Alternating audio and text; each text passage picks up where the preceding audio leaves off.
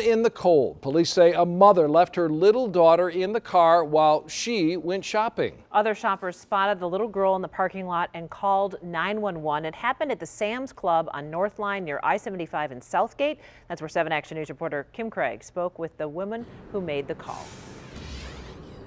Yes, Heather and Dave, a lot of people could not believe a baby was alone in a vehicle out here, and you can only imagine what kind of excuse that mother gave police. Unbelievable. I've never in my life thought I'd ever witness this. Southgate police arrived quickly to work on getting into the car where a baby had been left all alone.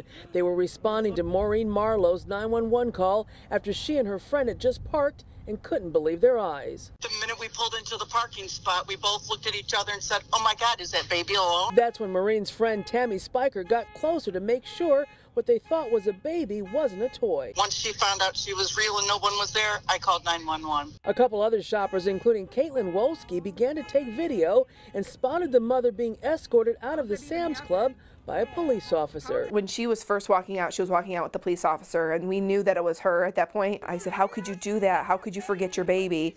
And uh, her response was, I didn't forget her, she was sleeping. Southgate police talked to the baby's mother for a short time before placing her in handcuffs. She started crying when she was being arrested. Thank you, Southgate Police. Everyone also thankful Maureen and her friend Tammy spotted the baby when they did. True heroes right there. Listen, we're not all perfect parents out here, but you have to put your child first. How could someone do that? Why would someone do that? It doesn't matter winter, summer. I mean, she was the baby was sleeping, but if the baby's sleeping and you don't want to wake her up, go home.